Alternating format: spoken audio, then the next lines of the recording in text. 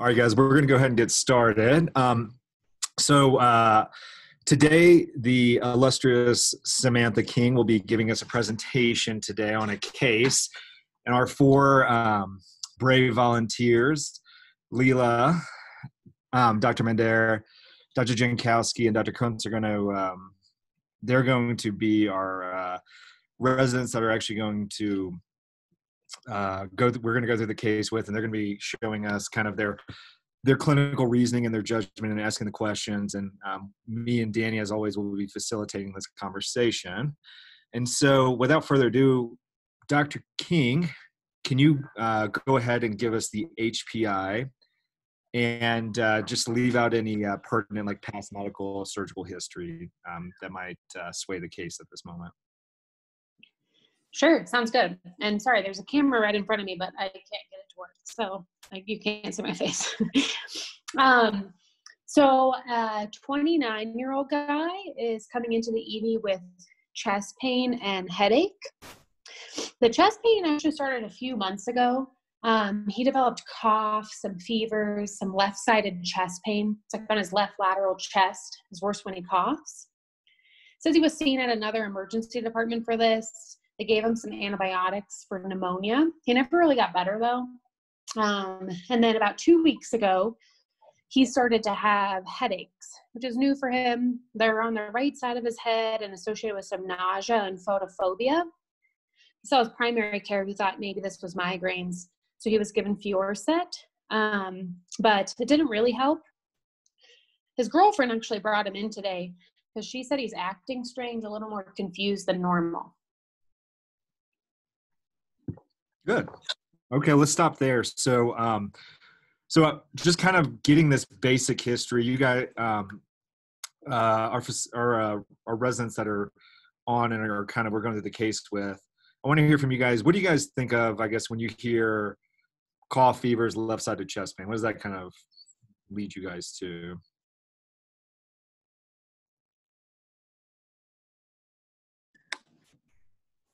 Definitely pneumonia, some sort of infection. Yeah. Good, good. Yeah. Um, and so do you guys do you have any other like clarifying questions that you guys want to uh, ask right now or anything that um, you're you uh, uh, need a little bit more details on?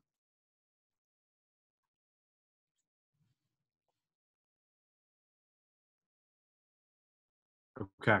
What do you guys think about the um oh sorry, some, Yeah, I just, I just didn't hear much. So he's coughing up sputum. How frequently is there blood mixed in this? So it's actually been a dry cough. He was never really coughing up any sputum and no blood. Okay. And duration wise, it's been going on for a month. Yeah, about about four months now. Dr. Mandair, why do you why do you ask about um, why do you ask about the uh, hemoptysis? Uh, again, I mean, triggering for a few things. I mean, things that like I, I quickly associate with that, like pneumonias can, um, yeah, clear, like very um, can be associated with that. PEs as well. You think about cancers. You think about atypical things like TB. Um, also associated with it. The criticity of this is somewhat um, like helps you maybe cipher through a few of those relative to others. But that that's one thing that would be alarming. Yeah, stealing from Dr. Gergen's talk um, last week, this week, um, hemoptysis is like some chronic inflammation or some um, neovascularization or maybe some um, like cavitary lesion, um, malignancy, something like that. Cool. Yeah, I agree. I think it's I think it's um, it is kind of odd, right? This guy's had a few months of a fever and fever and cough. That's a little bit odd. Um, and I agree. Like, if hemoptysis is a great question because you think about all these like smoldering infection and TB classically will cause hemoptysis, and especially it has a process that's called like consumption. So it's the whole thing about you kind of these people like have this like slowly like uh, wasting away disease where they're just kind of get more fatigued, fevers, weight loss. Um, yeah, so good questions, good questions. So I think I think that's pretty good on the HPA. I feel like we've got a lot of good information from there. So let's why don't we go into the relevant past medical and surgical history? Sure. So, past medical history, he has type 1 diabetes. He's had it since childhood. Um, he has an insulin pump and also a continuous glucose monitor. It's like more or less a closed loop system, so he's not actually sure how much insulin he's taking. And he says he's had a couple of seizures before. Um, he was told in the past this was due to low blood sugar.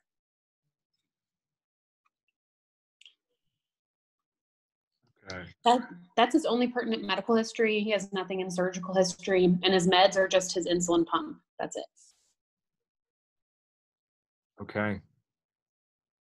Any any questions that you guys would want to hear about, like with his past medical history, or anything that you guys want to know about, like family or social?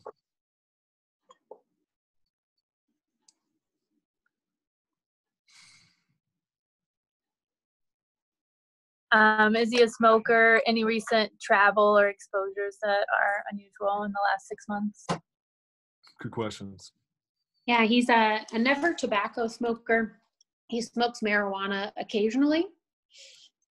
He says he drinks socially, which to him means like once or twice a week. week he has a couple of drinks and no other substance use. He has not traveled. Um, this all started like right before COVID started, and he's been trying to quarantine himself at home. And was he born in the US or was he born elsewhere? He was born in the US. Yeah, that's actually a really good question too, because one of the things that um, uh, when we talked about hemoptysis the other day and cavitary lesions, Dr. Connors pointed out that you know a lot of these, a lot of to uh, contract TB, you have to be pretty chronically exposed to it, and so just because you travel to uh, Southeast Asia or Mexico or uh, one of these other countries that we typically think of being endemic to TB, it's more the people that are from these countries that we actually see um, uh, that actually contract TB more than people who just visit these um, visit the areas that are endemic. So I think that's a really great question, Dr. Chockalingam. Um, okay, perfect. I think that's a lot of good information. So if uh, if one of the um, if one of y'all don't mind um, uh, giving us a like a problem representation of this patient, a quick one liner, and then we'll make a differential on them. I can try. Um, Thank you. So this is a young male in his late 20s coming in with left-sided chest pain, um, cough, fever, and headaches with nausea and photophobia, developing confusion, um, concerning for like some sort of underlying infectious process. Um, and it's been like persistent over a couple months considering like for something like smoldering subacute atypical um, and yeah i think that's what i'd say past medical history of diabetes Actually, that's great. I think you really kind of, um, I think you put all the relevant things in there. The only thing I would maybe like change a little bit is instead of saying kind of like a, a smoldering subacute at the end, I would probably put like coming in with um, subacute slash chronic left-sided chest pain and cough, fevers and headache, uh, or at least chronic left-sided chest pain, uh, fevers and cough, because that seems like it's been going on. I think for probably at least uh, over two months. So I think I think he's probably met the criteria by now that we can say he's kind of moved to the chronicity has come become more chronic then. Um, cool. No, that's really good. So um, kind of with that really well done one liner, what uh, let's go and before we get to the vitals, physical, and labs, why don't we make a differential for him?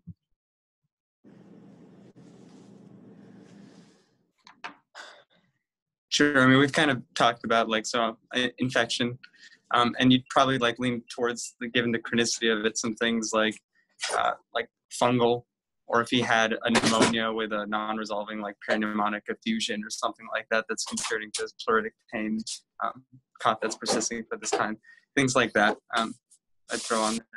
Um, I think also this may be unifying too, but like you know, and again, it's also having headaches in this syndrome, and it's a 29 year old, and it's really concerning to abruptly get that. Um, like malignancy would be something that I'd be worrying about, like a cancer with maybe an effusion that meted something like that would be kind of high. I think it would be interesting to um, look for some more atypical infections too with his like immunocompromisation um, of type 1 diabetes and then um, does he does he have either further autoimmune conditions or um, or another reason to to have something going on this long as a young person. Yeah, you guys, that's actually some really good points. I think you actually, um, Dr. Mandair, you you um, you actually brought up a uh, something we kind of we got kind of fixated on the cough and the fevers, and the other thing to think about is um, these headaches. Um, I guess hearing those headaches are they concerning to y'all at all, or do they, or does it sound like something that you wouldn't be too concerned about? I think Yeah, I think so. yeah i think with the confusion that like makes me a little more concerned um like that paired with the photophobia and the vomiting i feel like it all could point towards like something causing increased intracranial pressure and Yeah, I agree. I agree. I So- think it's go ahead. onset. I think it's a new onset in someone that's young that hasn't had a history of it. Like that's that makes it like alarming for me in particular. Um, and like not resolving the typical stuff. Although I know Fioricet's awful for treatment of that stuff anyway. But um, that's just what made me kind of zone in on it. Yeah, to be honest, there's only one indication like I can think of off the top of my head that I know to give Fioricet, and that's for um, headaches following LPs. And really, it's just the caffeine in there. um, I know that you can use it for migraines, but or use it for headaches, but yeah, that's not one I, I typically grab for from grab grab for for my repertoire of uh, migraine medication. Um, well, this is actually really good. I, I kind of want to so just take a step back and um, because we're kind of on the we've kind of switched gears a little bit from the uh, respiratory symptoms now going to the headache symptoms and so what i wanted to do real quick is um, i'm going to switch the screen over to my screen and i want us to kind of work on doing a working on like what your red flag what you guys like first off what symptoms y'all have that are concerning for elevated intracranial eh, elevated intracranial pressure? Symptoms? Yeah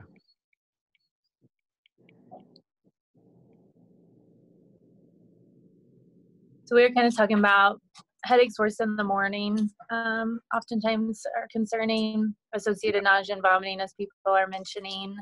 yeah Um, there's some physical exam findings. I don't know if you want to get into that, like papilledema, which would go along with vision changes, which people are saying. But yeah there we go yeah sorry so let me give me one second so i'm going to write all this all this down because that's really good information so elevated icp let's so why don't we start with symptoms and i'm going to put over here the red flag.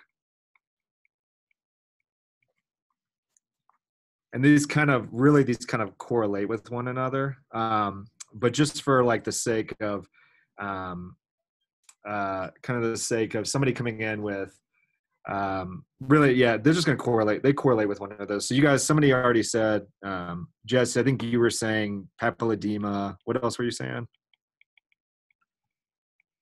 we said headaches worse in the morning or upon waking or waking them from sleep at night, yeah and then associated nausea and vomiting.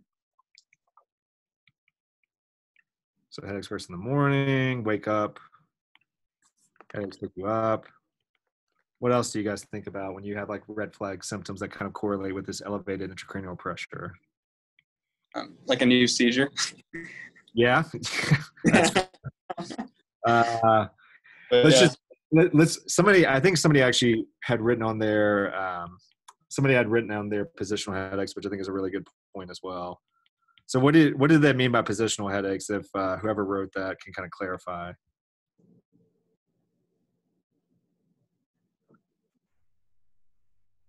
uh, I don't actually know who came up with that. yeah, it was it was actually it was the VA team, and they might not be able to. Yeah, so pretty much uh, headaches seem to be worse than when you change positions. Typically, typically I think of when you lie down, just because you're gonna have your uh, cerebral blood flow is actually going to increase. Yeah. Cool. Yeah. So usually uh, worse with sitting up or lying down. Okay. this kind of Yeah. not specific but i think people can have um, vision changes Yeah. Yeah. Yeah.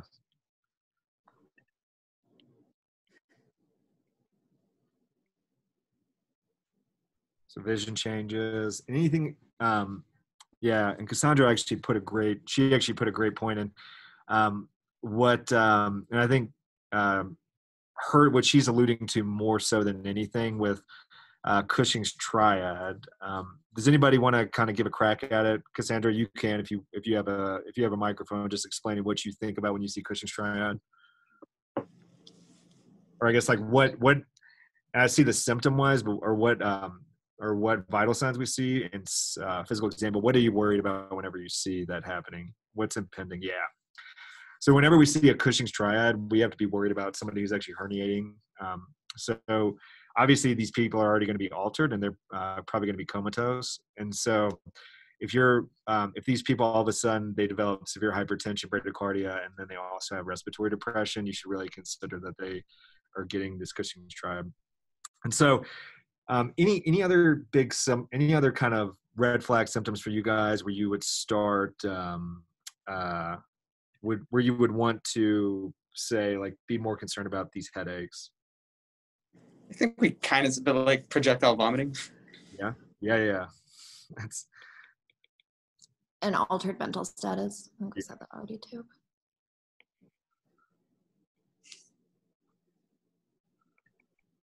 yeah. Good. Now I'm gonna I'm gonna throw one out at you guys. I want you all to think about what can kind of mimic a migraine that's a rheumatologic disease because you guys know I want to do I'm I'm big in a room, but what's something that can mimic a um yeah, who somebody oh perfect. T Max already beat me to it. So what are you guys thinking about when you have jaw claudication and temporal pain? Giant cell arteritis. Yeah. And why is why is what is like the complication you worry about most in giant cell arteritis? Why we want to like keep that in the back burner um, for somebody who's older with coming in with a new headache? Blindness. Yeah. Yeah, vision loss. So that's kind of the thing we always worry about. And once you get vision loss, it's not. Um, I'm not 100% sure, but I'm almost positive that you actually it's not um, reversible. So once you lose vision, and actually that is another. That actually is. Uh, so I I know that I know this is Dr. Treff who's hopped on my name right now. I'm just trying to drag me through the mud and make me look real. um, but yeah, no, that's actually another good point. Anything that increases your any headaches that occur after like increased intrathoracic pressure, like Valsalva, um, high, if you have exertional headaches, all those, um, that is also concerning for some kind of uh, intracranial process that's causing this. And then the only other one I was going to say was new headaches after age 50 is what I put on there too. Um, one of the things that when I was looking up, that was one of the other concerning symptoms. So um, anybody that's coming in with a new headache after 50 and no history of migraines previously, that's also a concerning symptom. So you also um, need to have a higher suspicion for something else going on. But I think that's a really good list. Uh, I think we really hit all the high parts. So when you, Hey, when you get- yeah, Sorry, this is Anita. Um, with giant cell though, that's usually something you would see after age like 60, right? It's like pretty rare under, Yeah. underneath. Yeah. Okay. Actually, people that are going to be, it's uh, older than 50 is typically what we look for. Okay. So if, if there's anybody under 50 that has um, anybody that's under 50 you're worried about giant cell arteritis you have the wrong differential on there Mm. Thanks. Yeah. Good point very good point okay any other like big points anybody wants to bring up right now okay so why don't we like go ahead and switch it back over to dr gergen and i'm going to stop sharing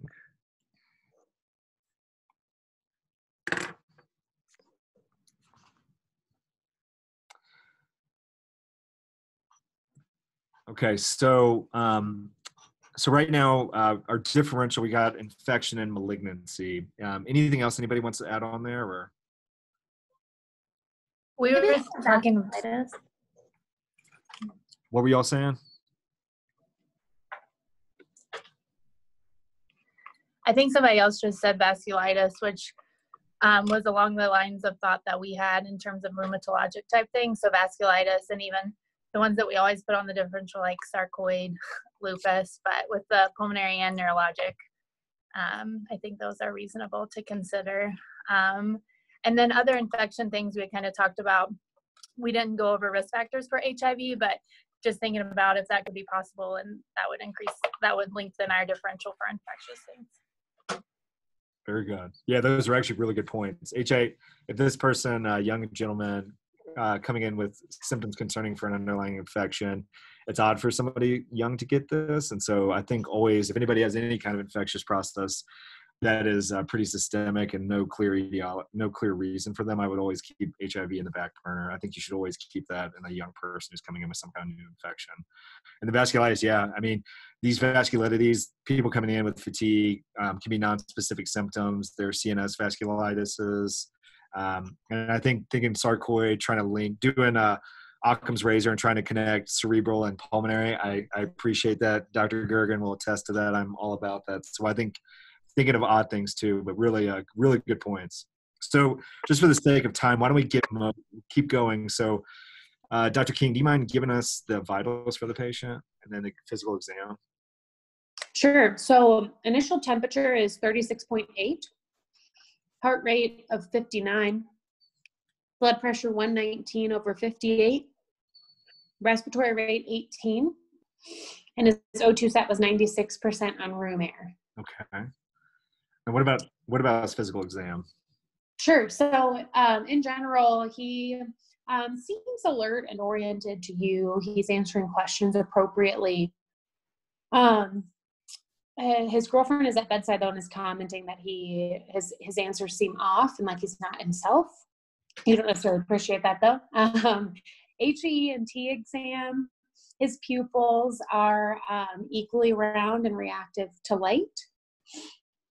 Um, I'll go into neuro there too. So on gross visual field testing, he has like a very apparent left-sided visual field defect.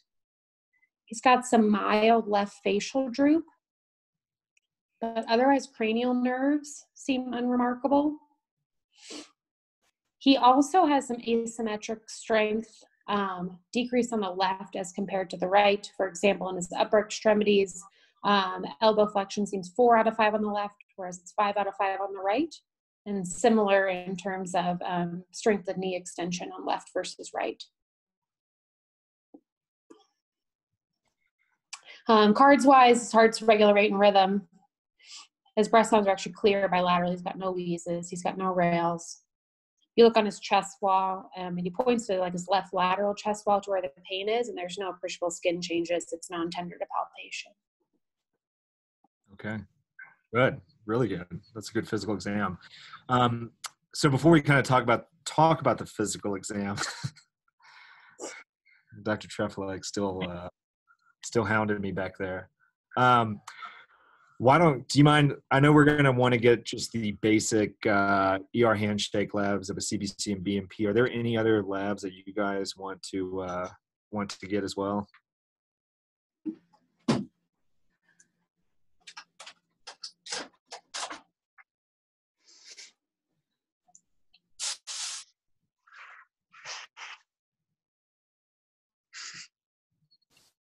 Yeah, good points on systems.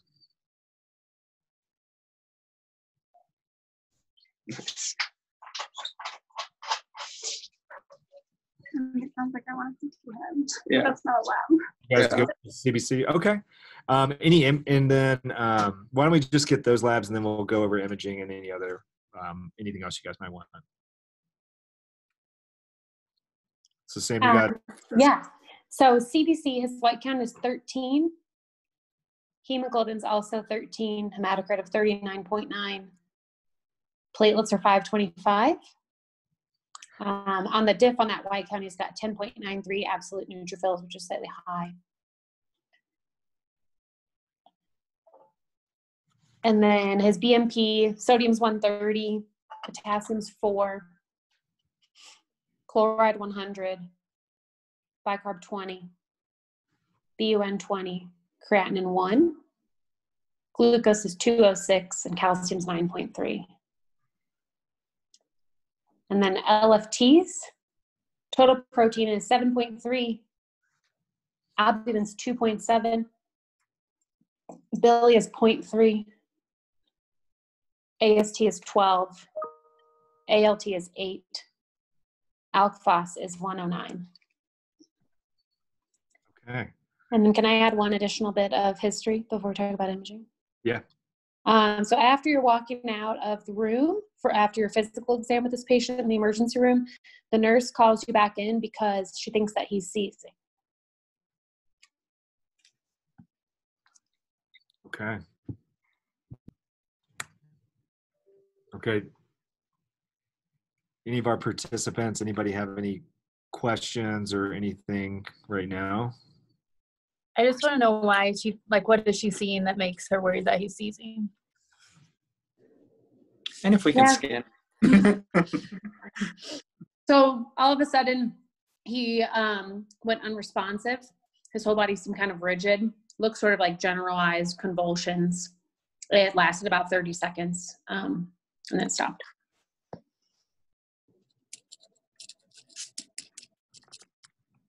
Does And he what- appear post-ictal at all? Yeah, he's appreciably confused now. Yeah, good questions. Why why do you guys ask that? If uh, if y'all if I can uh, push you guys on so we can understand that.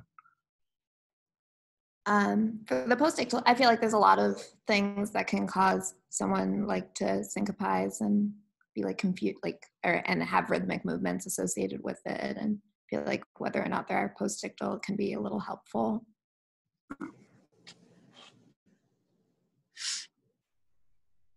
Yeah, I agree. I think uh, I think that's a really good point. To be honest, like so you can um, so if somebody um, if somebody has a vasovagal response, um, especially they can actually have like what looks like tonic-clonic tonic-clonic movements, and in, in reality, it's just jerky motions. That's probably from like hypercapnia or something like that. Um, and so the post-ictal state is actually a really good differentiating factor, knowing if these movements were like truly post, if this person was truly having a seizure, or if this was something else that could have mimicked a seizure. So really good, really good questions. And um, uh, Jessica, Jess clarifying like what the movements look like as well is very important too. Or if this could have been like an absence seizure, any of those other things. So understanding what they actually look like when they were having the seizure is incredibly important too. So, so right now you've got this guy. You did your physical. You got your labs, um, and we can. We'll just skip over like talking about the labs, but what do you guys want to do right now?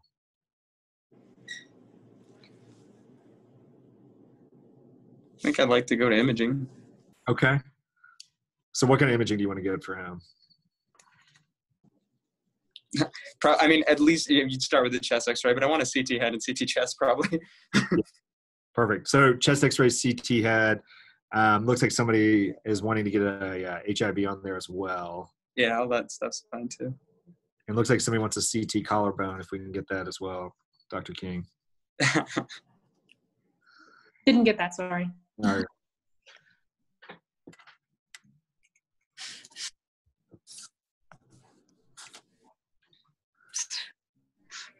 So there's a chest X-ray, and if somebody doesn't mind, just giving a quick, uh, quick read of that.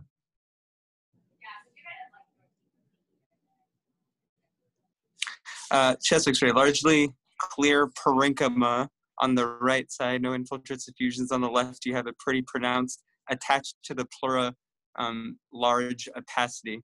Is left, I guess. Yeah. Um, and that, that I don't see like it doesn't look like obviously necrotic or anything, but a large dense lesion, pleural attached. Yeah, and uh, it's kind of hard to tell if it's. I, I think saying it's a. per- I think a large um, uh, a Yeah, large opacity is probably like the easiest thing, but I think it's. I think as far peripheral as it is, I don't think it's unfair to think like that. But um, so I think we've got a lateral chest X-ray. So why don't we flip to that?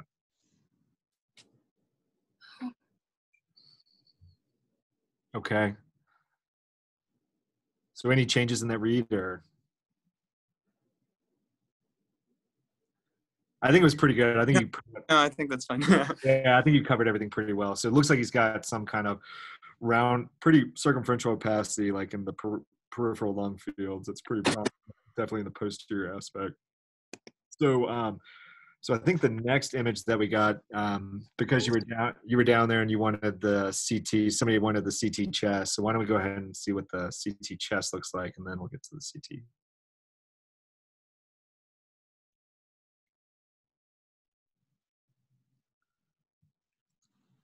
So does anybody want to tell me what they see right there?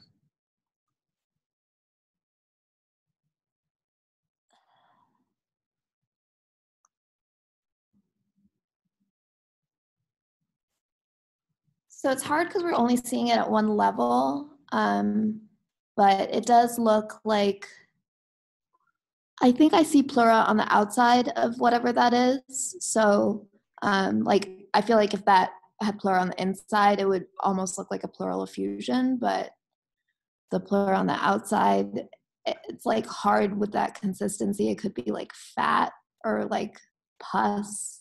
It looks really like homogenous though.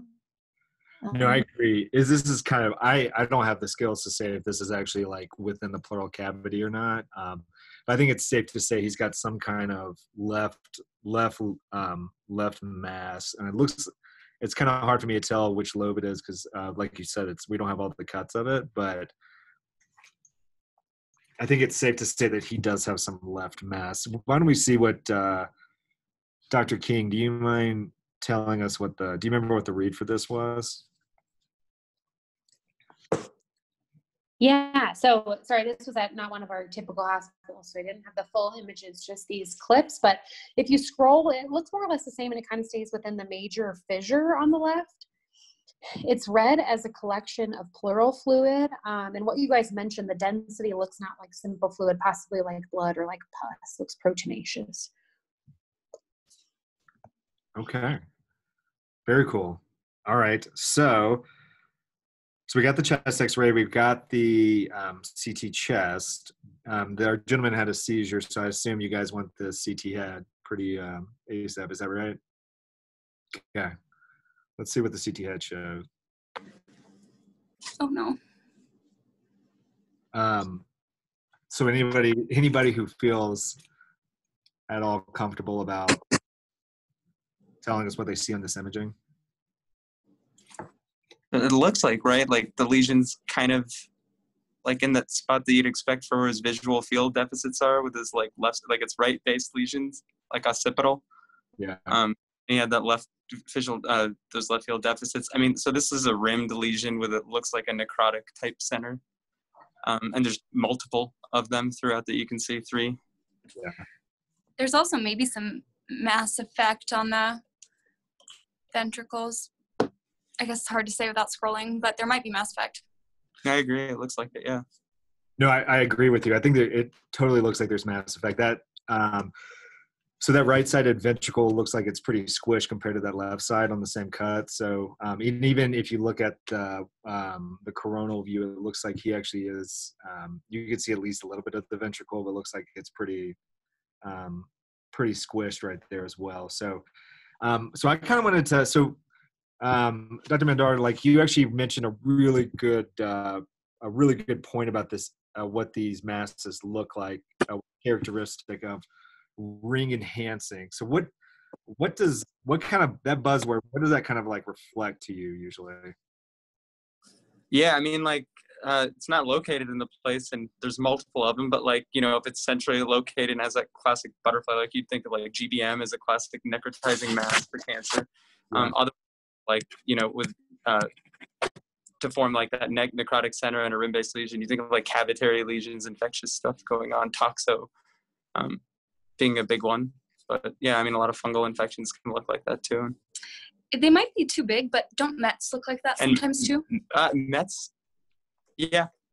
I mean, I would imagine that like, like more like similarly like density type lesion. I thought would for Mets, but for sure.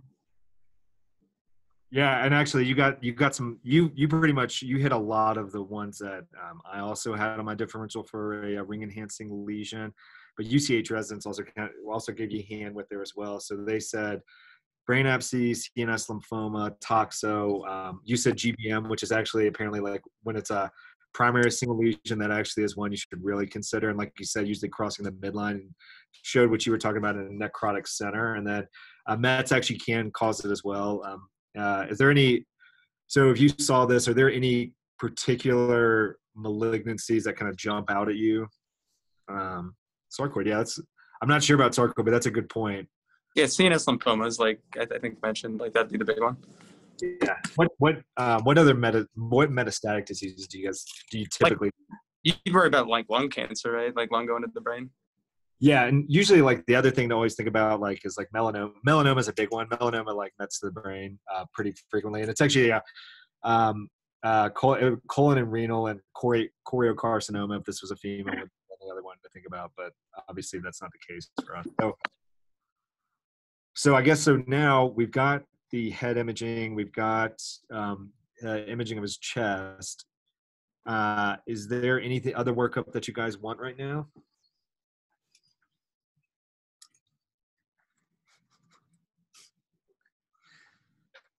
you can go to any Get an HIV test back. Good. That's great. Really good point. Dr. King, did they get H- HIV was sent and it was negative.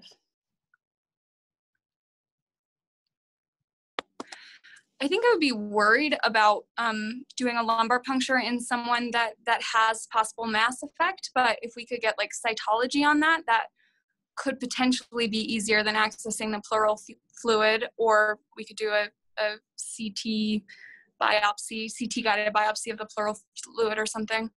I want to see some cells. Yeah, I agree. Tissue's the issue. And so the best answer that you guys are going to get are going to go for want to get tissue. So if you have to pick between choosing right now to sample the brain or the lungs, what are you going to choose to do? Probably that long. I mean, it looks like it'd be easy, fairly straightforward for them to access that. Yeah, I feel like IR could do that pretty easily. Yeah.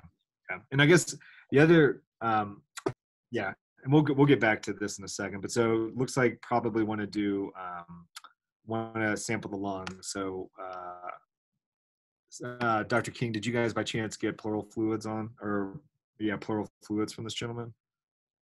We did. So um, bedside ultrasound revealed a fluid pocket that was a little over two centimeters deep, but wasn't very wide. It's just like small and irregular, not really free flowing pleural fluid, as you can appreciate on that chest X-ray. So we did go to IR to have this done under imaging guidance.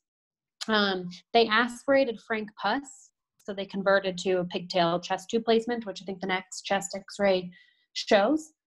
Um, it was sent for studies, but unfortunately, both samples clotted and um, they couldn't run anything. Except they did run uh, gram saline culture. Very good, very good. So why don't we? Um, I'm going to get Dr. Gergen to uh, switch over, and I just want you guys to um, just kind of go over some pleural pleural fluid studies real quick, and just kind of because this is one thing you're going to be encounter. So whenever you guys, um, when you see somebody who's got a pleural effusion and you worry about an infectious etiology, what are um, what are the kind? of, What type of um, I guess what are the two big classes of pleural fluid like? Um, yeah, Transitive state. Transudative, yeah. Why don't we do that? So let's start pleural fluid, and then transudate.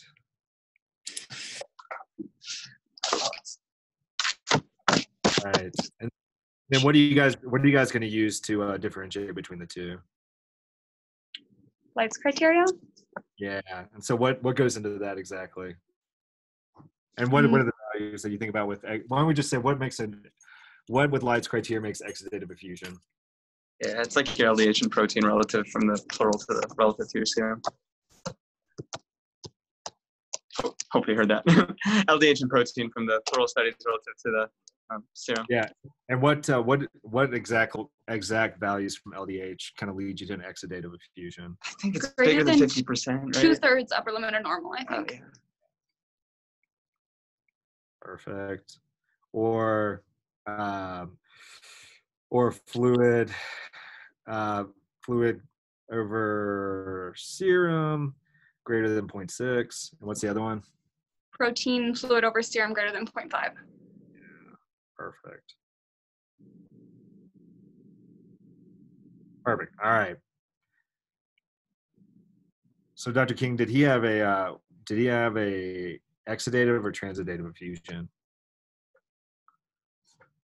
Um, it was frank pus, so presumed Yeah, activated. yeah. That's all it does. We couldn't actually run. Uh, I know that's fair. All right, so then we get to an exudative effusion. We think this is infectious, and this is just purely from an infectious and exudative effusion. And so, um, when you see when you hear frank pus, what does that automatically mean? This fluid is. Bacteria, like empyema, like Yeah, yeah. So frank pus is gonna means it's empyema. And then to differentiate between the other two of like an infectious exudative process, you're either going to have a parapneumonic effusion. It's either going to be complicated or uncomplicated. And pretty much the two differentiating factors, if for complicated and uncomplicated, surprise is that if it if it's infected or not infected. Do you know what um, what makes it infected versus not infected? I think it's just Gram staining, right? Positive.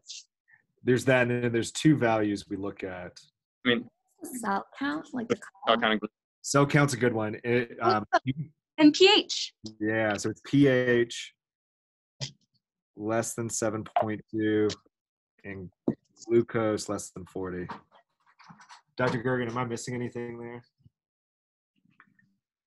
That's a complicated.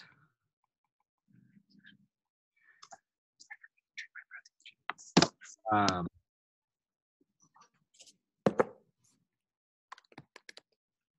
all right, so why is it important to differentiate between a complicated and a uncomplicated parapneumonic effusion?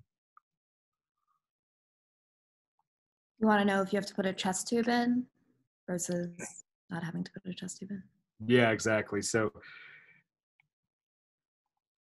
these two are going to need a chest tube placed, which will be in there until like it actually like a per UpToDate actually says you're going to keep a chest tube in place until like they're less than 100 cc's of fluid. So this guy he's got an empyema, so um, this is obviously um, uh, he's obviously going to have a chest tube placed, and so I think. Uh, we'll go back to the case, but um, those are kind of the big, the really big three I wanted to kind of get over, uh, get to about um, kind of an infectious pleural pleural effusion. So, uh, Dr. King, we'll go back to Dr. Gergen, and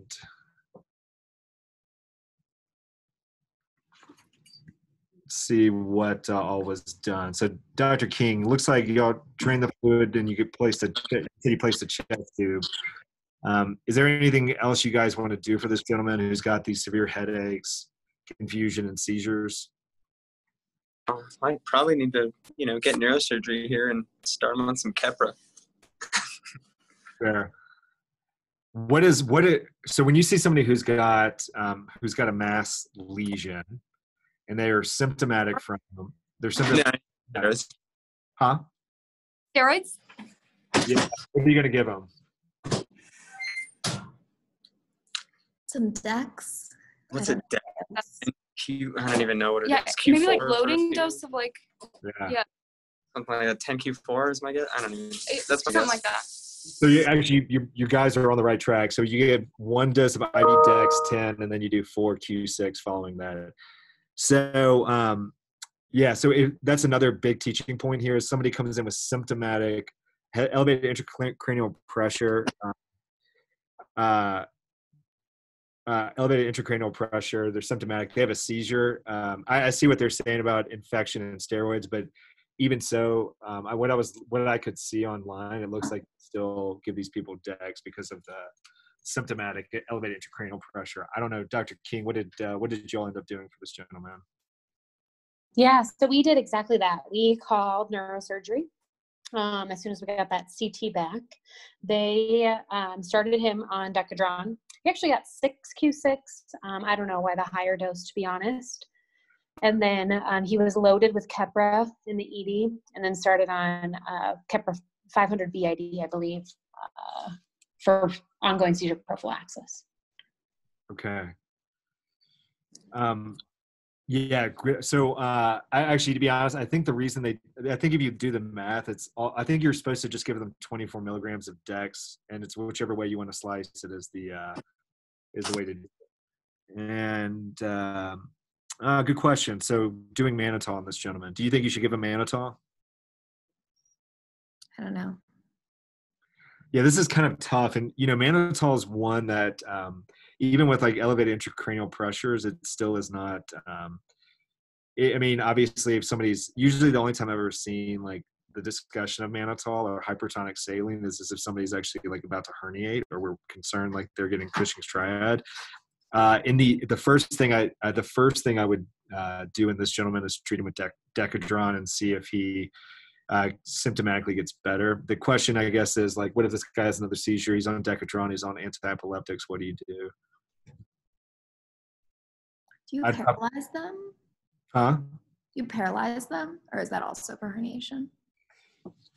Yeah, no, I mean it's hard, right? Like that's I this is kind of where it kind of gets out of our scope and probably neurosurgery is going to be the one who's going to be driving the boat on this. Um, but yeah, somebody's talking about yeah, you can hyperventilate these individual individuals too if you're worried about herniation. But um, yeah, so so why don't we just to kind of wrap up this case, um, Dr. King, what uh, so you got neurosurgery involved, got Keppra, got Dex. Did y'all do anything with these brain abscesses? And Yeah, start- he did. And I see antibiotics too. Yes, he got started on uh, Vanc and Zosyn in- initially in the ED. okay. Um, so neurosurgery took him for craniotomy the Okay. next step. Um, they wanted uh, about 12 to 24 hours to get steroids on board prior to that. So he had these, um, it was actually two abscesses. The, the one coronal cut on that head CT was actually just another angle of the, the second larger abscess. Um, what they said was you have to aspirate the fluid out, but you actually also have to like excise the fibrinous layer that surrounds the abscess. Otherwise, even if you go in and drain that fluid, the fluid's pretty likely to recur. So he had an excision of two brain abscesses. His pleural fluid and his brain abscesses um, initially resulted as many gram-positive cocci. He did not get mannitol up front, but a post-op neurosurgery asked for him to get mannitol, just presuming that his um, cerebral inflammation and edema would be worse for the first couple of days post-op. Nice. Interesting. Okay, so um, in the little bit of reading I actually did look into um, look into this. Um, yeah, they actually did talk about. It was kind of interesting. So they talked about you know brain abscess, abscesses, at least per UpToDate, wasn't saying that you necessarily have to drain these uh, drain abscesses, drain abscesses. But the reason that he probably did is because he had a seizure, he was symptomatic, and so he was probably having enough mass effect that they needed to drain these anyways. Um, either way, this is where we kind of defer to neurosurgery. If that's what they do at what their hospital, I would just defer to whatever their management is. But yeah, so Dr. Dr. King, what um, what bacteria did they end up growing? Yeah, so cultures all resulted as Streptococcus intermedius, which is um, one of the Viridans streptococci group. Nice. So very interesting. So pretty much this gentleman had uh, had a uh, empyema and a um, empyema and a empyema and a uh, um, brain abscesses from uh, from strep viridans. So team at VA from Team X actually had a good question. Did you guys get a TTE on this gentleman? He did get a TTE, which did not show vegetation, um, and he never had positive blood cultures. Yeah. Wow. Interesting. So where did uh, where do they think uh, he actually ended up getting the uh, bacteria from? Yeah, so um, it's a very good question, and UCH residents is asking a lot of great questions. Um, he had nothing notable on dental exam uh, that was performed, and he um, has no dental pain either. ID's best guess was that he aspirated um, Viridans streptococci or oral flora. And so oftentimes if people get a, a strep intermedius empyema, it's from an aspiration pneumonia, though the, the location is strange, right? It's left-sided. Um, it's not quite posterior. It's not where you would expect it to be.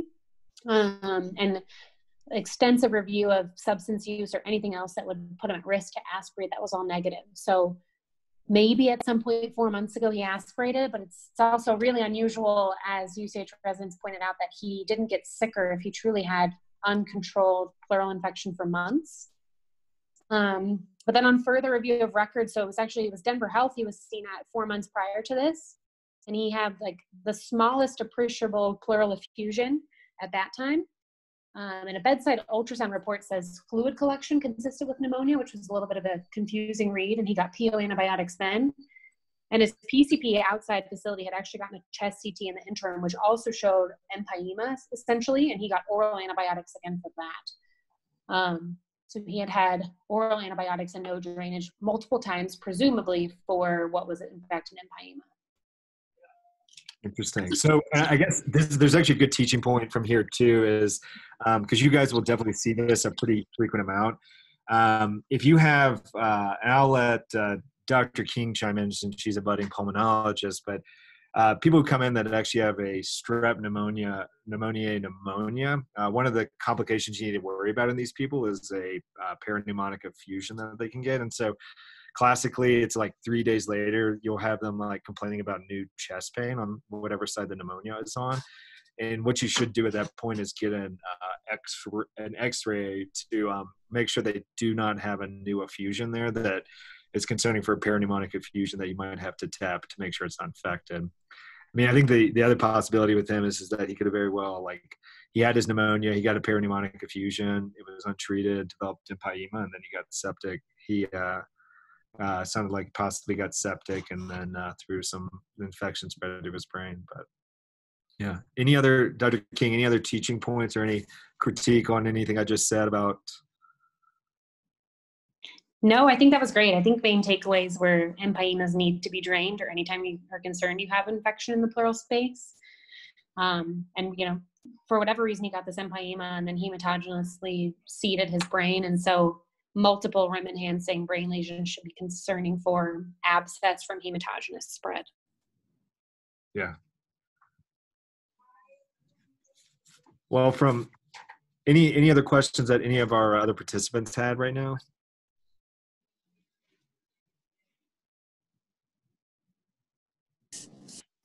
I don't know. I think we're good here. Okay. So um, just to kind of like kind of bring uh, kind of round out everything we talked about if each one of our uh, main participants don't mind telling us one new teaching point that they got or one new thing they learned about from today i would really appreciate it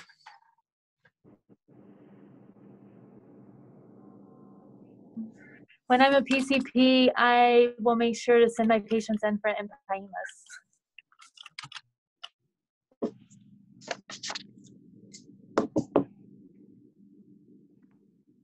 Um,